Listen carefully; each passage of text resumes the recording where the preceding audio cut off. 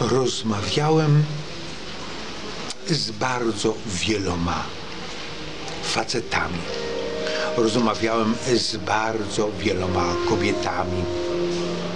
Również tymi kobietami, którym życie się nie ułożyło najlepiej, które się rozwiodły, które zaczynały swoje życie po raz drugi.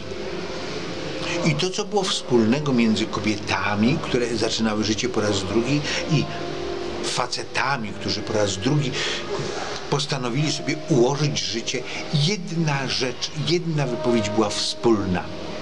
I ta wspólna cecha to była taka wypowiedź, że gdybym mógł cofnąć czas, gdybym mogła cofnąć czas do momentu,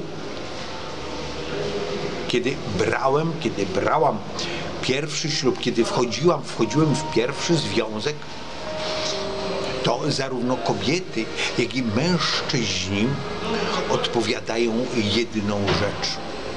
Nie, że postąpiłbym inaczej, żebym inaczej pokierował. To jest jedna, jedyna wspólna cecha, która łączy kobiety i mężczyzn. Oni mówią, na pewno nie brałbym ślubu z tą osobą.